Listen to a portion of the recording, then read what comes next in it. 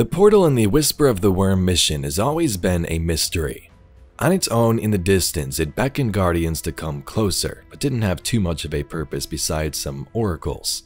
When you would approach, you can see through to the Vault of Glass. But in Into the Light, things have changed and a new image can be seen. Let's take a look.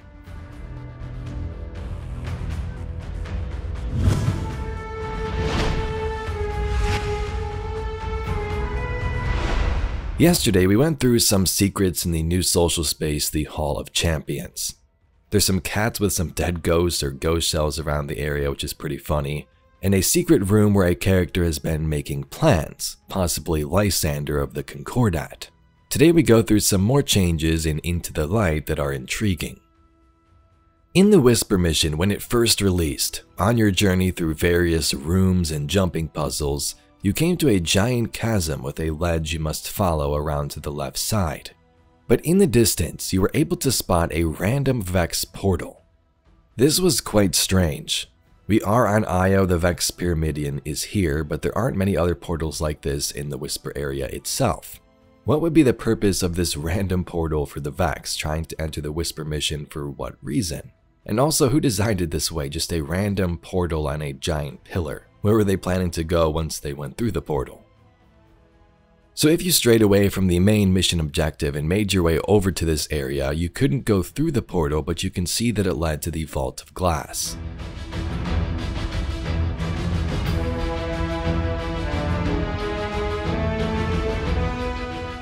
Something cool that many may not remember is that in Destiny 1, this portal was actually used by our Guardian in the Paradox mission. This is the end of them. A path with no escape. And yet, here they are. There they were, and there they will be, and there they will have been.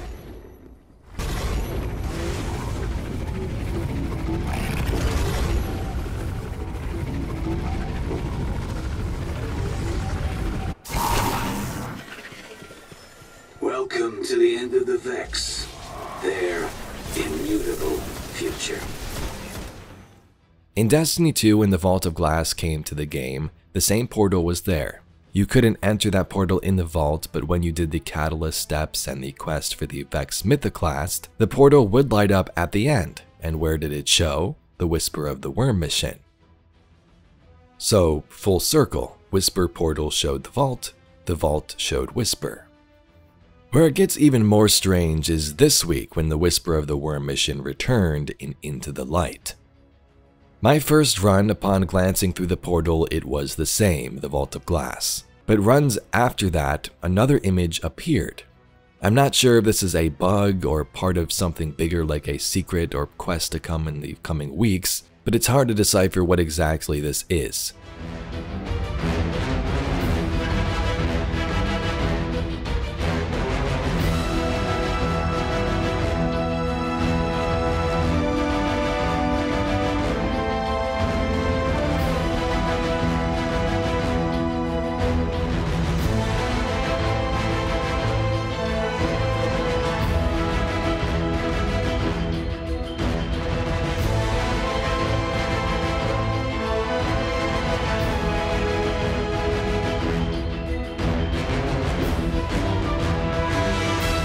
Me, it appears to be some purple corridor surrounded by rocks.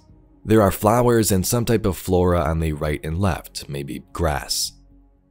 Some say they see a Vex waterfall, but to me it looks just like a corridor with a floor that has radiolaria in the middle. What do you see?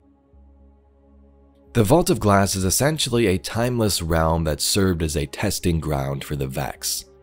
Here, they would conduct experiments and operations that could potentially influence their goal of achieving convergence, their own final shape. We also know the Vex have their own network and many portals in different locations, so it makes sense that all of these portals connect, but the question is, where is this? My random first thought that popped up was this looked kinda similar to some of the Pale Heart screenshots, the darkness infused locations that the witness has influenced. Now there's what we believe is radiolaria in this image, so that might not fit with that theory too much, but it kinda reminded me of some of the purple hues we see in that location. So let us know your thoughts. Is this a teaser for the final shape or episodes, or just a bug? Maybe we'll see some more images in the coming weeks as Into the Light progresses. Next up, in Into the Light, there's also been a gameplay change to the Blight heroic events that fit what's going on with the overall universe. It's a small change, but a great touch by Bungie. The forces of the Witness fight to keep us away from the portal, that's this overall story. We defend in Onslaught to push them back and get sweet new weapons in the process.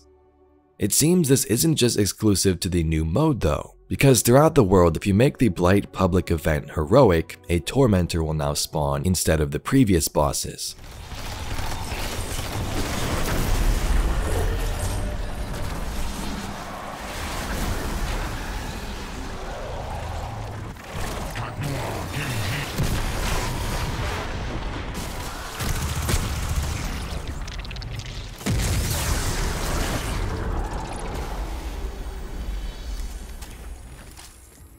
Into the Light has added some great features. If you didn't know, you can access your vault from anywhere if you are the host. Any Guardian has been able to access their vault from orbit, but if you are the host and select an activity while in patrol for example, it will give you an option to open your vault. Not sure if this is intended or a bug, but it's helpful if the third-party apps are down for maintenance.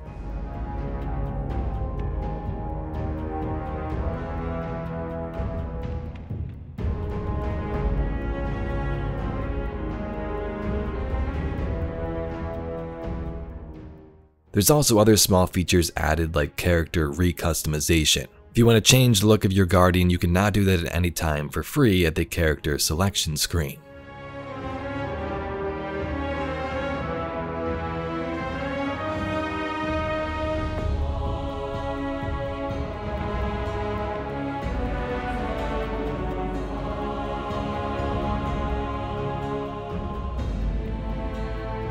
As you saw with that screen pop up there, name changes are also a thing. Bungie gave us one in the past, so if you haven't used that, you have two name changes available if you like to change your Guardian name in Destiny 2. Also, before we wrap it up, another great tip I've seen involves Onslaught. Obviously, the batteries will repair the ADU, but if your ADU is at full health, you still want to throw the batteries at it because you'll get 3 times scrap. Anyway Guardians, that's all we got for today's video. Some updates and Into the Light that are pretty cool. If you'd like to see some more Destiny lore, news, and mysteries like this video, please be sure to subscribe to the channel. I thank you very much for watching and I'll catch you all in the next video.